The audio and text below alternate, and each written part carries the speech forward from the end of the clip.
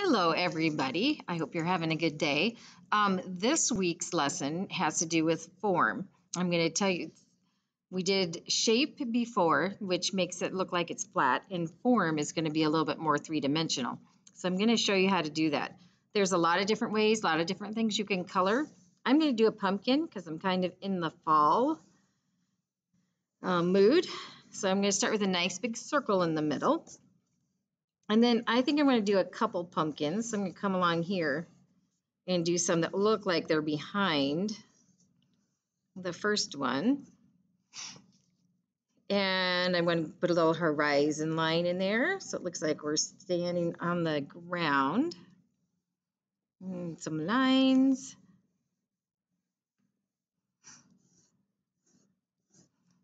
And then after we have these all drawn, you want to make sure it fills the whole space. It's a lot easier to color it when you do things nice and big. I'm going to take some colors. Pumpkin. I, this, these are the colors I'm going to use for my pumpkin to make it look three-dimensional. I don't know where my yellow went. Somebody must have. Uh, so I'm going to start. You need to think about where you would see sunlight. So I'm going to start in the middle and I'm going to lightly do this because we're going to blend these. And if you go do it, if you start too dark, you're going to have a problem blending it. So just do a little bit. And there's lots of different ways to do this. This is just the way that I learned how to do it. But you are you can experiment. That's what's fun about art is you can always experiment. So I did the yellow in the middle. Then I'm going to lightly come here. And do you see how I'm going on that a little bit? So we're, they're blending together. And I'm going to come in there a little bit more. So, but it's still nice and light.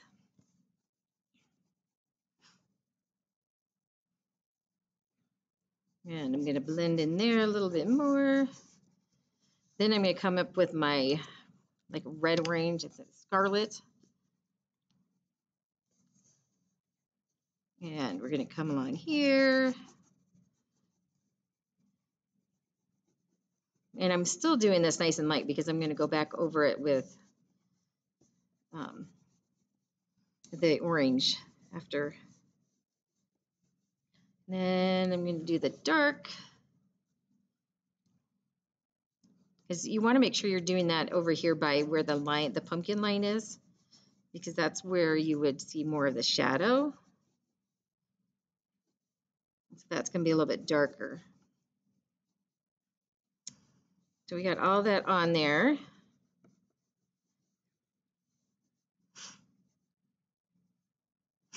And then I'm going to go back over it with a little bit of the orange. So see how that's kind of blending that together, making it look more like it's a real pumpkin instead of a flat pumpkin. That's the difference between like shape and then form. We just the shadows. And I'm going to leave just a little bit of that yellow so that we can see where the sunlight makes it look like that's where the sunlight is. So I'm darkening it up a little bit. And I'm going to cover up some of that yellow.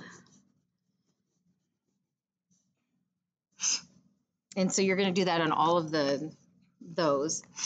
And then my very last step and again, there's lots of different ways to do this. This is just the way that I do it.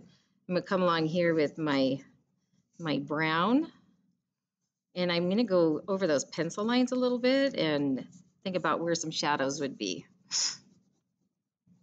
So that's gonna be down here. You're gonna do that a little bit darker. So then I've got some shadows on there. Um, so when you go to do your grass, or whatever you want to put down here. You're also going to have shadows under each one of these pumpkins. So we're going to do that a little bit, and you can always add a little bit more after.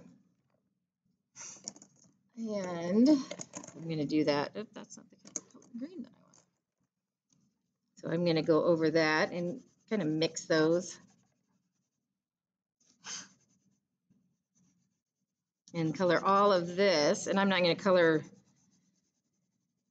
every part of it because I have this example, but you see how that's given that some shadows. And then you can come back up under here and add a few more.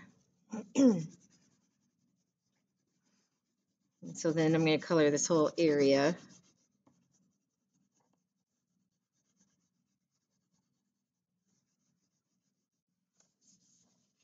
I guess I will color it all.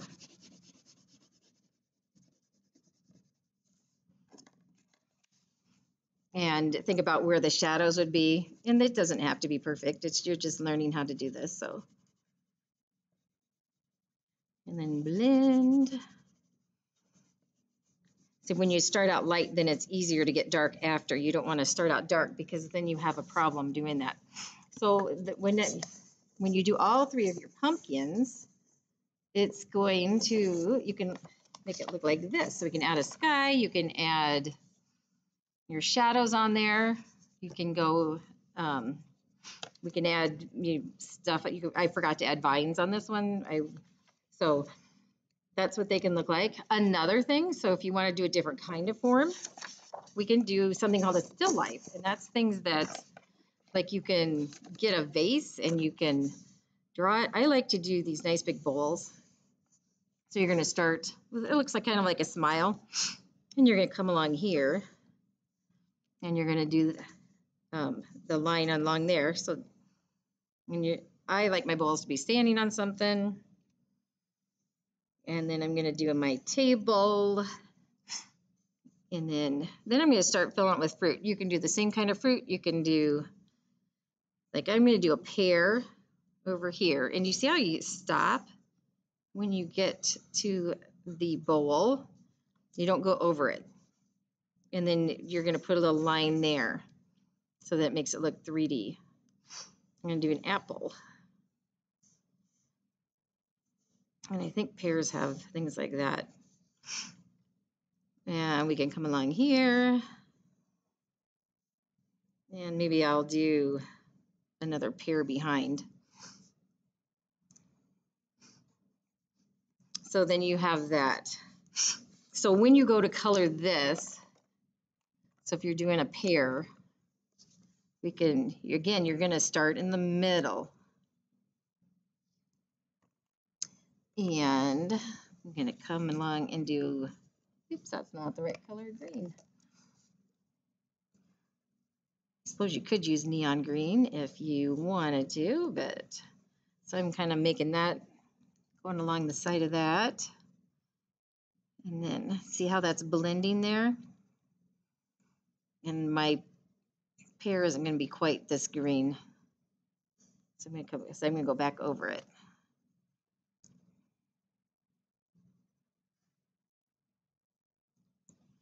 And you just have to work with it. And if you're, um, sometimes you get it right the first time and sometimes you don't. And you can use crayons or colored pencils. I, I find colored pencils are a little easier to blend, but you know, use whatever is easiest for you. So that's kind of what my pear is going to look like. When you do the stem, you can do some brown and then take some black and add that. You can get make that look more like it's blended. Um, your apple. I'm going to do some orange and some red. That's probably a little more scarlet, but we'll make it work.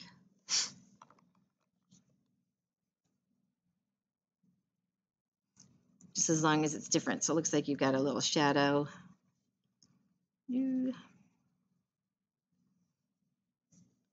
And then I'm going to make that a little bigger. And I might add some yellow in the middle so we can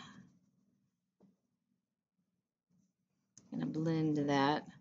It's all about experimenting. Anything you're going to do in art is about experimenting, seeing what works, seeing what doesn't.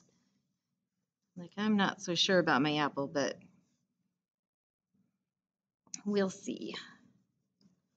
I'm going to try it with the yellow in the middle and see if that one works better. A little bit of that. And remember, again, go light till you know that you've got what you want on there.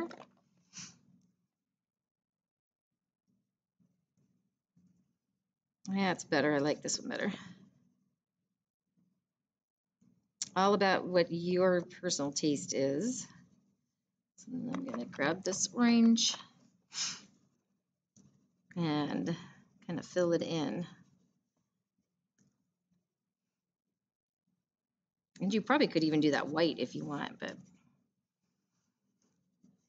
So there's an apple, and then I, again, take the brown, and then it kind of adds that other little bit of pizzazz on your, your shadows.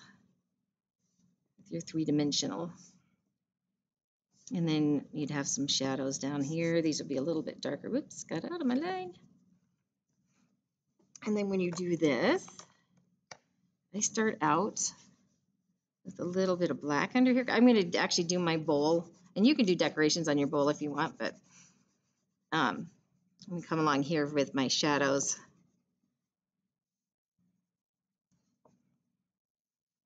And then you'd have some down here. And then do some gray. So then we go over this in gray to soften up that line.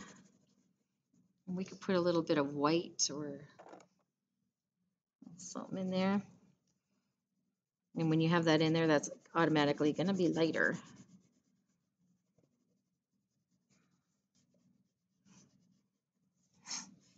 And so you're, you'll have to experiment with what colors you like. And then when you're using crayons, you have to go over them quite a bit to get them to mix. Like down here, I think I need a little bit more shadows, so I'm going to add a little bit more black. Let me color this in.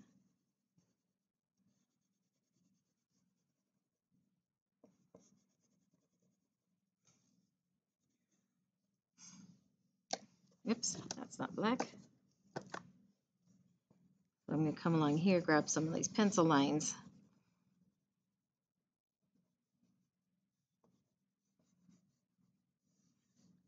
And then we got that little piece in there, got this in here. That's inside of the bowl.